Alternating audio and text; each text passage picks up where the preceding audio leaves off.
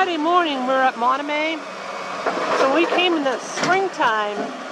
This had majorly eroded due to a big, big winter storm, and now more has eroded. And they said, unfortunately, this house will have to be torn down because it's going to fall into the ocean. That's a terrible shame. There used to be this great place to walk out there, but now you can go through a neighborhood. So hopefully we'll see some stuff. So we're heading down the Morris Island Loop Trail. And here is groundsel. I'm seeing a lot of this down the Cape.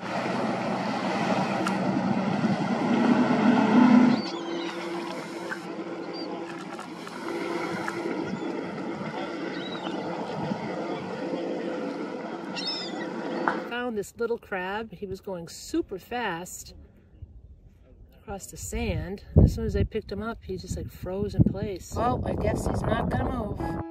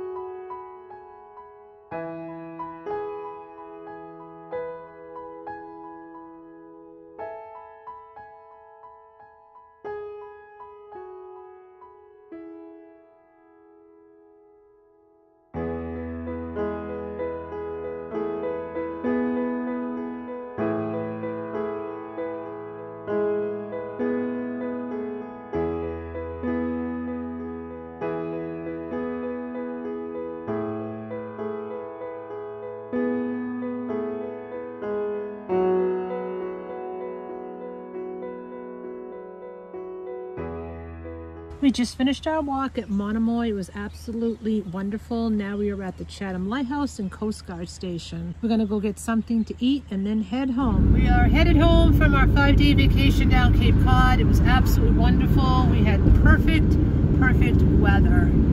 So I'll be happy to get home and see my cat, my tarantulas, and my parakeets. Thanks for watching, guys. Peace, love, and joy. Always be humble.